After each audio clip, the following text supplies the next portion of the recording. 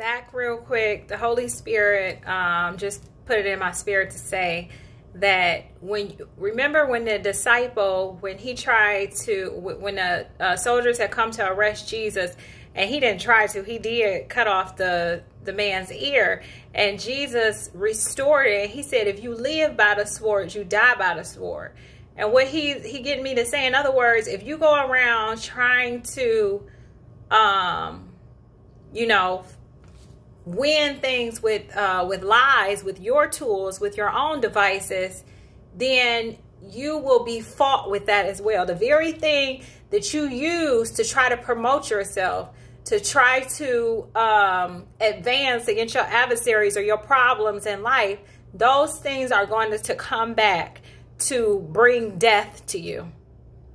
Those things are going to be the downfalls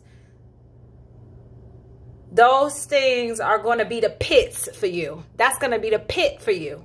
The very thing that you use to try to elevate yourself will be the very thing to bring about your destruction or your downfall.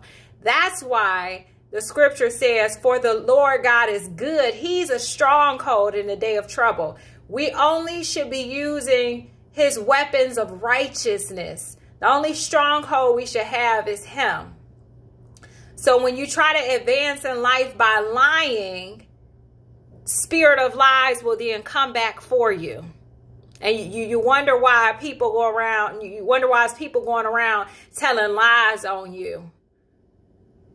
Because that's how you try to bring about your own will in life. That's how you try to obtain what it is that you want by lying. And so because you live by that, you die by it too.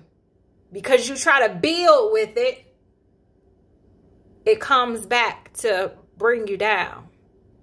All right. So it's important that we be honest in our communications. It's important um, that we do not lie, that we tell the truth and have faith that even if it seems um, to our disadvantage to tell the truth that God is going to be our refuge. God is going to be our favor. Because it's not by, you know, not might nor power any way, but by his spirit that we're able to um, be victorious. So if he's purposed you for something, then it, it is it's, it's not dependent on you lying to obtain it.